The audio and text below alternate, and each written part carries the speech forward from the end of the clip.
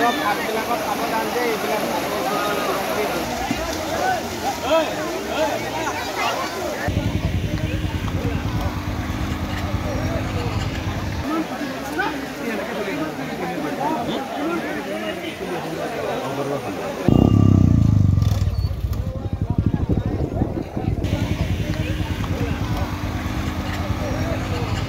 মানুহ মানে আমাৰ ইয়াত আজি দেওবাৰ বুলি অলপ বেছি মানুহ হৈছে।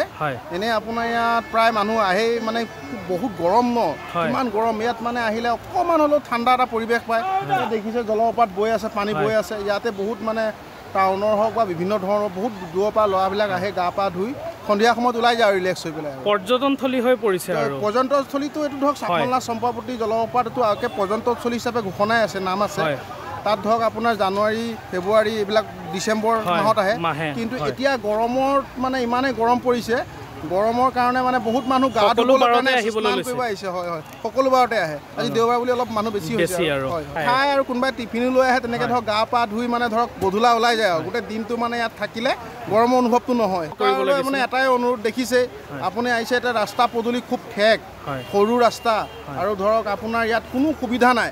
আজি ইমান মানুহ হৈছে আপুনি দেখিছে হাজাৰৰ ওপৰত মানুহ। একো এটা সুবিধা নাই থকা সুবিধা নাই এটা পাৰ্কিঙৰ ব্যৱস্থা নাই। কিন্তু ধৰক আমাৰ যিটো লেচিয়ে পইচা ল'বলগীয়া আছে লৈ আছে। কিন্তু সুবিধাখিনি লেচিয়ে পইচাখিনি আমাৰ পৰ্যটন বিভাগলৈ গৈ আছে। কিন্তু পৰ্যটন বিভাগে আমাৰ ধৰক এই বস্তুখিনি কাম কৰিব লাগে, কৰা নাই এতিয়ালৈকে যিখিনি সা সুবিধা থাকিব লাগিছিল সা সুবিধা থাকিব। লাগে এইখিনি থকা নাই আৰু ইয়াতে ইমান মানুহ আহে। দুৰ্ঘটনা হোৱাও সম্ভাৱনা থাকে দুৰ্ঘটনাটো আৰক্ষী। চকী এখনৰ প্ৰয়োজন হয় নেকি আৰক্ষী চকী এখনৰ প্ৰয়োজন হয় কিন্তু আৰক্ষী চকী এখন ধৰি নাপালেও। ধৰক যদিও আৰক্ষী চকীৰ ফালৰ পৰা আহি আমাৰ ইয়াত চাৰি পাঁচজন মানুহে গাইডো দিয়ে প্ৰশাসনৰ বিভাগৰ ফালৰ পৰা। তেতিয়া আমাৰ যথেষ্ট উপকৃত আৰু। চাপালা বাসিন্দা হিচাপে কৈছোঁ আৰু।